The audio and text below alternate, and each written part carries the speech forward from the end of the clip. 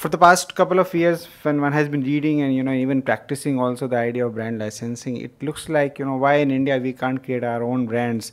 Why can't we create and license out to our own business partners within country?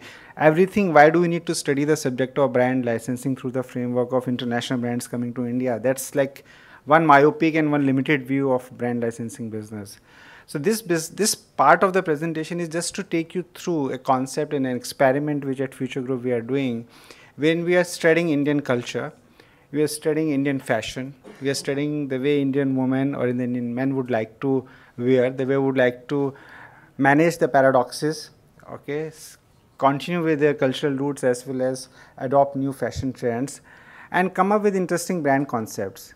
Convert those brand concepts into product concepts and then merchandise those concepts in our own stores and license them out. So why, why can't we create our own brands and license out to each other depending on our mutual competencies within the country.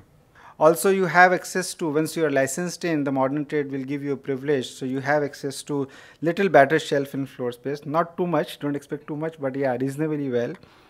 And you can integrate yourself with the retail brand agenda also. If, if, you, if you help in boosting the retail brand, then it makes huge sense because you can as a product brand be a retail brand differentiator in the long run because I must go to that store because that product brand I can find in that store.